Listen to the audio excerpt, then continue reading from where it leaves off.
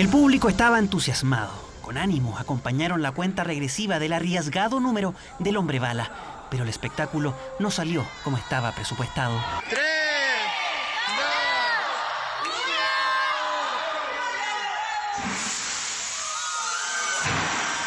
El acróbata quedó tendido en el suelo y de inmediato sus compañeros salieron a socorrerlo. La exhibición del hombre bala era uno de los principales atractivos del Circo Vázquez Chile que actualmente se presenta en Antofagasta. Bienvenidos al emocionante Circo Vázquez Chile. Prepárese para sorprenderse con el asombroso hombre bala pero el público esa noche pasó del asombro a la consternación. Por causas que se investigan, la pirueta no alcanzó a ser completada y el artista cayó antes de llegar a la malla de seguridad.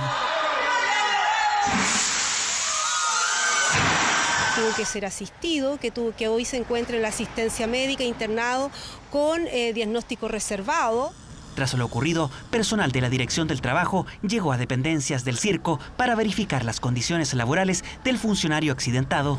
Él se encontraba en una informalidad laboral, no tenía contrato de trabajo, no tenía eh, seguro social, ninguna de esas características propias de un trabajador. Lo mismo pudimos encontrar en otros trabajadores del circo. Se abrió una investigación para esclarecer el accidente y las posibles responsabilidades. Si bien el circo puede funcionar por el momento, se les prohibió realizar espectáculos acrobáticos que sean desarrollados en altura. Y esto tendrá que mantenerse hasta que se acredite ante este órgano fiscalizador que las medidas eh, preventivas y la investigación del accidente puede determinar que se encuentran en condiciones de otorgar este tipo de espectáculos para la comunidad. No es primera vez que un acróbata se accidenta en medio de su actuación. En 2018, el hombre bala de un circo en Maipú resultó con su pierna fracturada luego de caer fuera de la red de seguridad.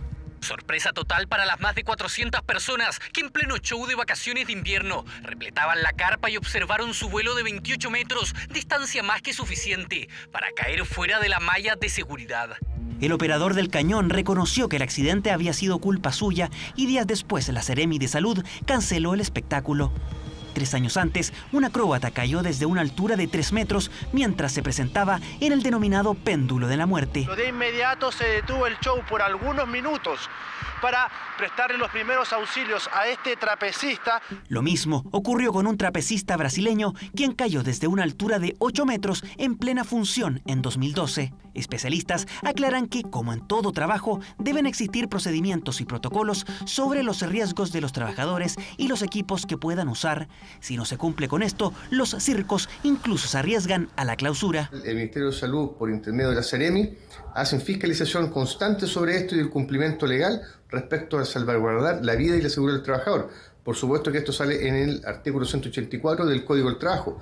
Por lo mismo, estos protocolos de seguridad tienen que estar vigentes y ser difundidos a toda la organización para mitigar el riesgo, ¿verdad?, y los accidentes del trabajo. El hombre bala accidentado se mantiene internado en la UTI del Hospital Regional de Antofagasta con múltiples fracturas y se teme que pueda quedar parapléjico.